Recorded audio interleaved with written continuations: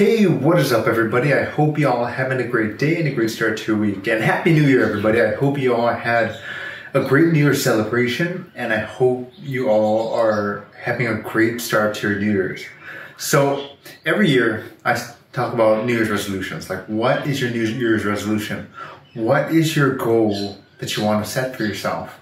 And oftentimes, a lot of people tend to give up their, on their goal um, fairly quickly. And if that's you, no problem. Remember, this is a new year. It's a chance for new beginnings. It's another chance to uh, set your start your year the right way. Start your year out great.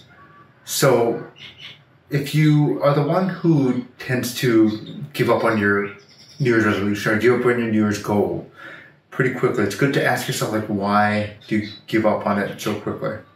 Is it like an unrealistic goal? Maybe you're not even that passionate about that goal right now. Whatever it happens to be, um, if, if it's a goal that you're not passionate about, simply just don't really set that goal. Set a different goal, or, or maybe set a more obtainable goal that you believe that you can accomplish. And once you have that goal, I think it's good to write it down. I think it's good to break it down step by step on how you're going to achieve that goal. And once you, you break it down, write out your daily tasks. And I also think it's good to put that goal in front of you every single day. And when you put that goal in front of you, because sometimes when we set a goal, we're excited for it, we go to sleep, and the next morning we're kind of forget about that goal. It's easy to forget about that goal. And sometimes that happens to us when, when setting our New Year's resolutions. We set it, we're excited about it, and we tend to maybe forget about it one day and then eventually forget about it altogether. But when you write it down and put it in front of you, I don't know, maybe put it somewhere around your house, maybe put it, um, maybe write it down every single day, maybe have like a note card and just write down your goals that you want to achieve this year and look at it multiple times a day uh, find a method for yourself where you're going to continue to look at your goal and continue to put your goal right in front of you so it can help, help you remember it and help you get excited about it. And then, as I, as I was saying before, write down action steps to help you achieve it every single day. Write down goals. Maybe when you end the end the day, uh, write down your goals for the next day. Next day, um, Jim Rohn always says, uh, start the day before you fin- uh, finish the day before you start it. In other words, write down your goal, uh, write down your action plan, plan it, and then really see yourself completing that, completing your day before you officially start it.